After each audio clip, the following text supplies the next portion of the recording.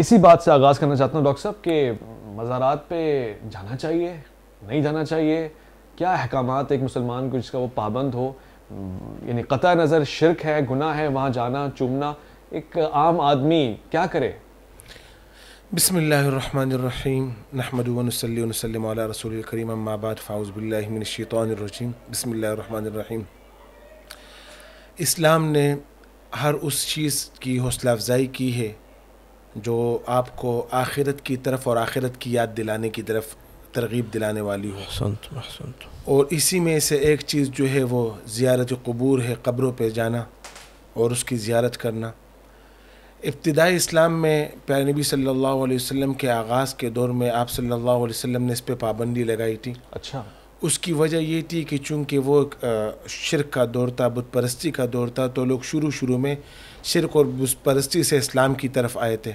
तो शुरू में इस वजह से वो वहाँ उन लोगों की आदत ये भी थी कि वो कब्र परस्ती भी करते थे और कब्रों की इबादत पूजा पाठ भी करते थे। अच्छा। तो प्यारे नबी सल्लल्लाहु अलैहि वसल्लम ने इब्तदाई इस्लाम में उन पर पाबंदी लगाई थी।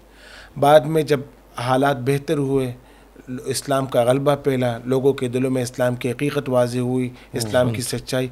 तो प्यारे नबी सल्लल्लाहु अलैहि वसल्लम ने ख़ुद इसकी इजाज़त दी और आपने फरमाया कि कद कन तो नहाई तो कुमान ज़ियारतलक़बूर फ़लान फ़जूर हुआ फ़िन्ना युज़क्रकुमौत अव कमा क़ाल नबी वसल्लम।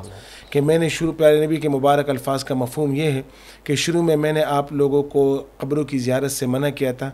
अब मैं आप लोगों को इजाज़त देता हूँ आप लोग कब्रों की ज़्यारत के लिए जा सकते हो। उसकी वजह यह है कि फ़िन्ना युज़क्रकुमौत ये तुम्हें मौत की याद दिलाती है।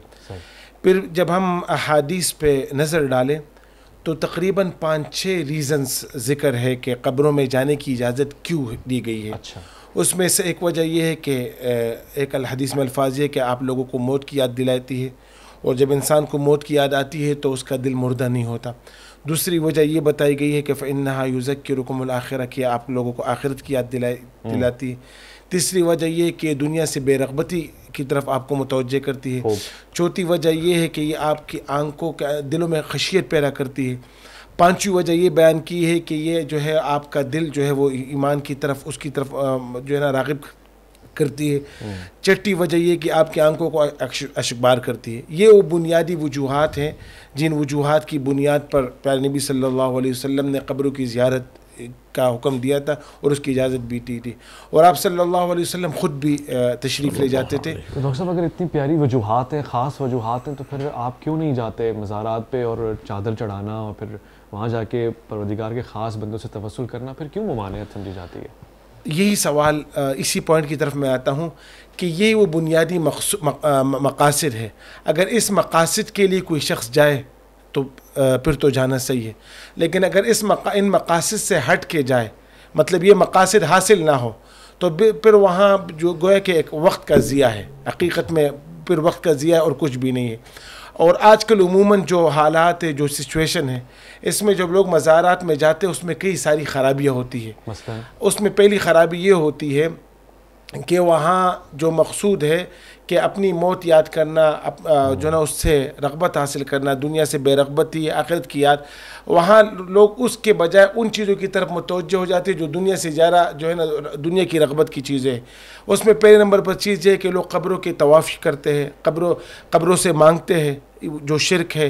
फिर एक ये कि फ़राइज़ को छोड़ के नवाफिल की तरफ़ जाते हैं जैसे अब कोई नफली काम है एक ही जगह मज़ार है वहाँ पास में बाजमात नमाज़ हो रही है। यहाँ पर कब्र पे पुल चढ़ाते हैं वहाँ बाजमात नमाज़ में शरीक नहीं होते। फिर वहाँ मुख्तलिफ़ ऐसी चीज़ है जो आजकल के रिवाज रिवाज चले जैसे दमाल होता है उसमें ये नाच गाने ये चीज़ें हैं जो शरण ममनू है नाजायज़ है। तो ये वो ख़राबियाँ है। उन खराबियों की वजह से इस पर पाबंदी है। मतलब अगर ये खराबियाँ ना हो फ़ी नफसी कब्र की जियारत करना मज़ार पर जाना सही उस पर कोई उसमें कोई बुराई नहीं है।